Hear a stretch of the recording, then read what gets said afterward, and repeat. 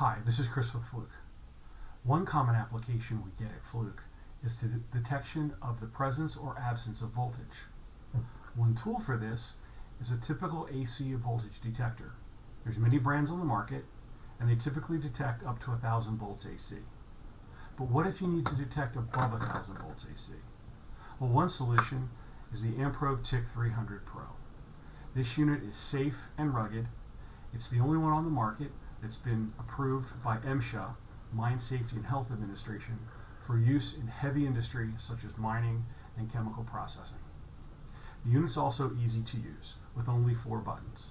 A power button, a low range button for 30 volts to 1500 volts, a high range button for 1500 volts up to 122 kV or 122,000 volts, and a test button. To operate, turn the unit on, choose the proper range, test the unit, you get a visual and audible indication of the presence of voltage. Then connect the unit to your favorite hot stick with this universal adapter and you're ready to go. Then test a known voltage. With that circuit, you know the unit's working.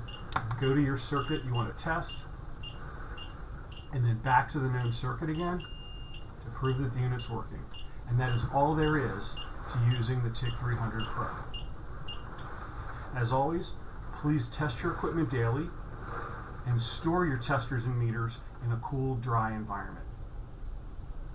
Thank you very much for your time. My name is Chris, and should you have any questions, please feel free to contact your Test Equipment Depot sales representative. Thank you and have a good day.